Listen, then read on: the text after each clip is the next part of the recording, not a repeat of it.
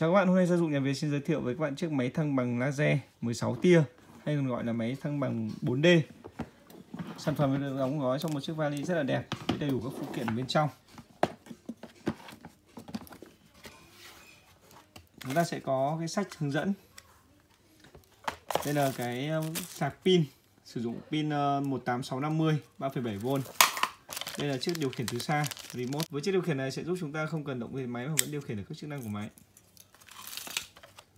đây là cái chuyển đổi từ chân nhỏ sang chân to để ờ, gắn vào đế. Cái này là phụ kiện để các bạn treo máy lên tường. Đây là một cái chân khác. Chân này xoáy ra sẽ cao dần lên. Bằng nhôm. Đây là cục ờ, cắm dây nguồn để cắm nguồn tiếp cho cái máy cân bằng laser này. Và đây là cái chân loại nhỏ để đặt xuống đất, xuống sàn chẳng hạn. Và đây là hai viên pin, đây là pin sạc được 18650 ok, và đây là chiếc máy của chúng ta. Có bộ phận này để giúp bạn treo cái giá khi lên tường. Đây là chiếc máy thăng bằng 4D chúng ta sẽ có 16 tia ở bao nhiêu bốn cái cổng phát tia laser đây. Một này, hai này, ba này, bốn tức là mỗi cổng sẽ phát ra 4 tia và chúng ta có 16 tia. Phần trên này là cái phần điều khiển. Chúng ta sẽ điều khiển được uh, hai tia đứng và cái tia ngang cái chữ H. Ngoài ra đây là nút này là nút để uh, bật trong nhà hay ngoài trời. Đây công tắc nguồn.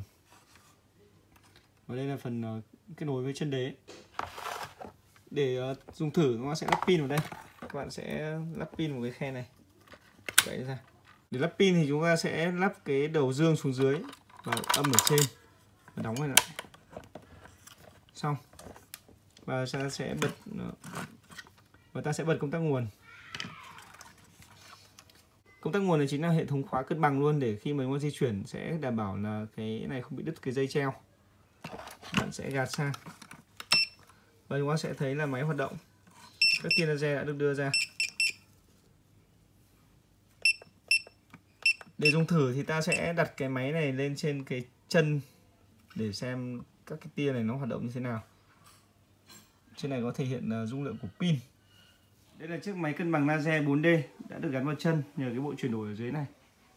Nó sẽ bật lên. Bạn gào sang đây. Ok. Có thấy cái đèn đầu tiên sáng đó là đèn tia ngang và tia ngang này là sẽ có xoay vòng xung quanh là hai tia. Các bạn nhìn thấy hai tia chạy song song.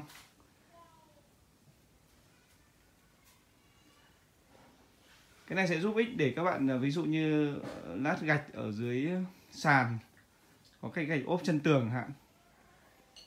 Và bây giờ tôi sẽ thử bật tắt xem sao. Thứ nhất là chúng ta sẽ bật tắt cái tia thẳng đứng. Các ấn nút V1 nó sẽ tắt mở cái tia ở hai bên. Đây là tia thẳng đứng. Nó chạy kín xung quanh. Và bật tia V2 là tia phía trước này, cũng chạy kín.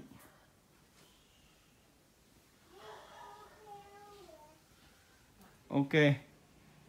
Còn H là tia ngang. Đây, ta sẽ tắt bật cái tia ngang đây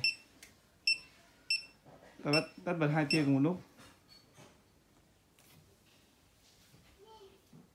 Và như vậy là tôi đang bật, ở đây là bật đủ các tia. Là 16 tia. Các bạn thấy là có các tia ngang này và các tia đứng.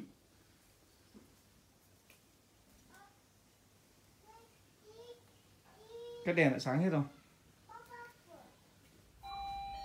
Đợi tí ạ! à anh đợi tí, các bạn có thể quan sát được tia laser chiếu lên khắp cái phần trong phòng này.